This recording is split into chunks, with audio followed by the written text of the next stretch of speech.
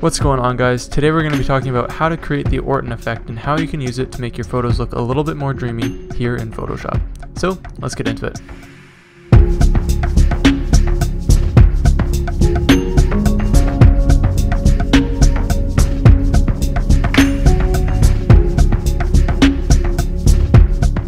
What's happening guys? My name is Brendan from Outbound Media and you can find me on Instagram at brnwills. Before I get started I just wanted to let anyone who's new here know that I make new Photoshop tutorials every single Wednesday so if that's something you'd be into make sure to hit that subscribe button. So today we're going to be talking about the Orton effect and how you can use it to make your images look a lot more dreamy here in Photoshop. Essentially what the Orton effect is is it overlays a brighter version of your image that is a little bit blurred. It sort of gives the areas that it's affecting a little bit of a glow and sort of this dreamy fairy tale look. But enough of me talking about it, let's just learn how to do it. So once you open your image in Photoshop, you'll have a background layer here. So the first thing that you want to do is you want to duplicate that layer by pressing Command J. So now you have a background copy. So what I'm going to rename this to is Orton Blur.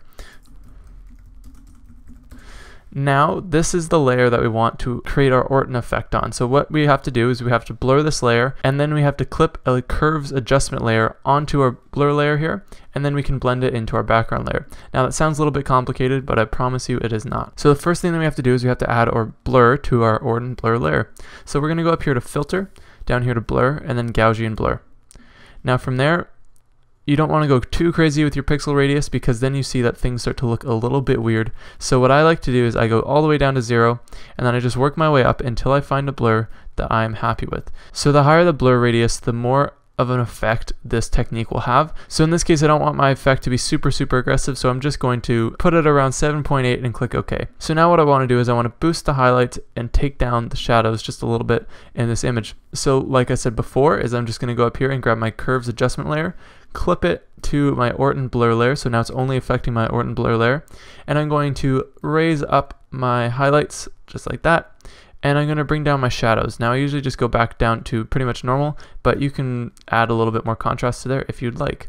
Now from here, I'm going to click down on my Orton blur and what I want to do is I want to blend this into my background layer, the one that is not blurred. So what I'm going to do to do that is I'm just going to go here to my layer blending mode and then I'm just going to go down here to screen. So now you see that it just brightened everything up and it looks really bad. But here's what we have to do. So now we'll go here to our fill slider and I'm just going to bring my fill all the way down to zero. So then I can see what our original image looks like. Now I'm going to slowly bring up my fill slider and so it's adding just a little bit more of that Orton blur the more I slide up the slider. So as you see, the further up I bring the slider, if I just zoom in, you see this sort of dreamy glow that it has given us. So if I just turn off this Orton blur here, you can see the difference there. It's very slight, but it has a really nice sort of fairy tale glow whatever you want to call it. From here, if you want it to affect the entire image, then you're pretty much done at this point and you just adjust your fill slider to where you want and then you're good. So in this case, I only want to affect the waterfall, the river, and her. So what I'm going to do is I'm just going to add a layer mask to my Orton blur layer and I'm just going to press Command I to invert that layer mask so now everything is invisible there. I'm going to grab my brush tool and with a white brush I'm just going to paint in the areas that I want my Orton blur to be affecting. So on the edges of the waterfall, of course in the mist, and then on my person here. And just like that. So now by doing that, I've manually told Photoshop where I want this effect to be taking place.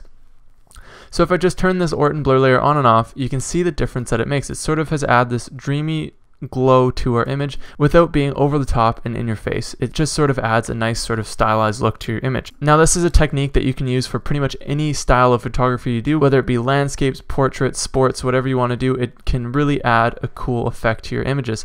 Anyways guys, that is it. That's how you create the Orton blur effect here in Photoshop. If you're wondering where I took this image, this was actually taken in Whistler, BC at Brandywine Falls, which is a super epic waterfall and if you ever get the chance to visit it, I would highly recommend it. If you want to see any more images from this waterfall, then just visit my website at outboundmedia.net or you can find me on Instagram at brnwills. Again, my name is Brendan from Outbound Media and I hope to see you back here next Wednesday for another new Photoshop tutorial. See you then!